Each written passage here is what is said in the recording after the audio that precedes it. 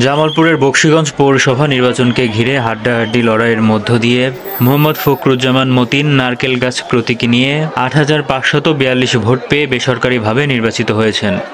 তার নিকটতম প্রতিদ্বন্দ্বী বক্সিগঞ্জ উপজেলা আওয়ামী লীগের সাধারণ সম্পাদক মোহাম্মদ ইসমাইল হোসেন তালুকদার মোবাইল প্রতীকী নিয়ে সাত হাজার পাঁচশত তেতাল্লিশ ভোট পেয়েছেন। এছাড়া বক্সিগঞ্জ পৌরসভার বর্তমান মেয়র মোহাম্মদ নজরুল ইসলাম সওদাগর জগ প্রতীকী নিয়ে সাত হাজার চারশত বিশ ভোট পান। নয় মার্চ অনুষ্ঠিত অবাধ শান্তিপূর্ণ নির্বাচনের দায়িত্বে সংশ্লিষ্ট প্রশাসন আইন শৃঙ্খলা বাহিনী ও সাংবাদিকদের সার্বিক পর্যবেক্ষণে জামালপুরের বক্সিগঞ্জ পৌরসভা নির্বাচন সকাল থেকে শান্তিপূর্ণভাবে অনুষ্ঠিত হয়েছে।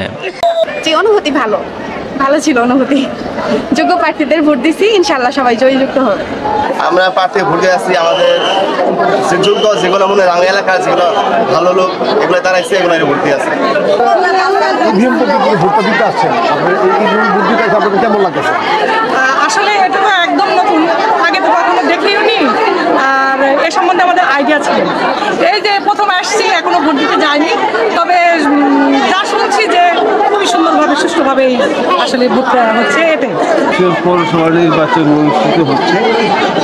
এখন সকাল সাতটা থেকেই মানুষের এখানে অনেক ভিড় দেখা যাচ্ছে, সমাগম দেখা যাচ্ছে।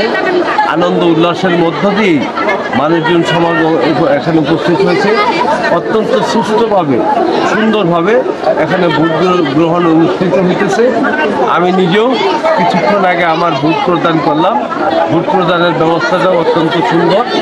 আশা করি ইনশাল্লাহ মানুষ যদি সুন্দরভাবে, সুস্থভাবে, স্বাভাবিকভাবে কোথাও যদি বিশৃঙ্খলা না হয় ভোট যদি প্রদান করতে পারে, তাহলে আমি ইনশাল্লাহ আমার নারিকেল গাছ পাঁচটা প্রতীকে জয়লাভ করব ইনশাল্লাহ। তবে ভোট গ্রহণ চলাকালে সকাল নয়টায় গোয়ালগাঁও সরকারি প্রাথমিক বিদ্যালয়ের ভোট কেন্দ্রে মেয়র প্রার্থী নারকেল গাছ প্রতীক ও মোবাইল ফোন প্রতীকের কর্মী সমর্থকদের মধ্যে কিছুক্ষণ ধাওয়া পাল্টা ধাওয়া চলতে থাকে।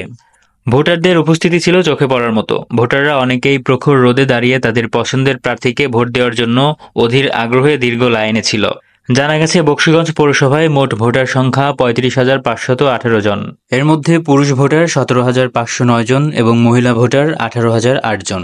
ভোট কেন্দ্রের সার্বিক পরিস্থিতি তুলে ধরেন রূপসী বাংলা টেলিভিশনের সহকর্মী শরীফুল ইসলাম ঝোকন।